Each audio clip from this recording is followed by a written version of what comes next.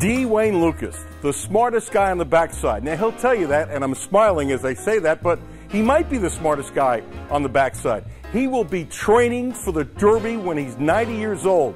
A couple years ago, I go up to him, and he's been in the same barn forever. And he doesn't see me. I go, I'm looking for the oldest living trainer. And he turns around without missing a beat and says, I'm looking at the oldest living sportscaster, D. Wayne Lukas.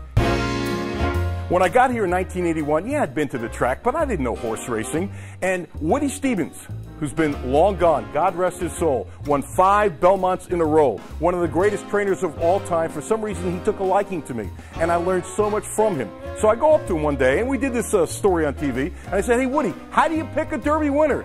He said, Pick a horse that's running like a bat out of blank, because that's how Woody used to talk, and if the horse didn't win, if he came in second in a prep race, pick him. Okay, so I picked Gato del Sol. Gato del Sol finished second in the Bluegrass. Gato del Sol wins the Derby, and I'm thinking it's easy. The next one I picked was years later in 1988.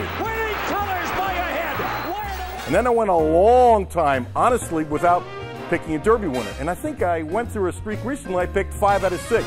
But anyone who says this is easy to pick, you're crazy. It might sound corny, but it's really true. Those of us, and there are so many people behind the scenes that you don't see, those of us that work on the Derby, besides it being a major project for the station, we have a great deal of pride.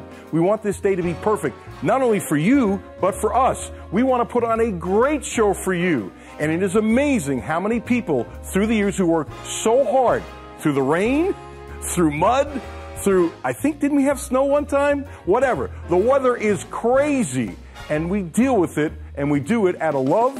It's our job and for you.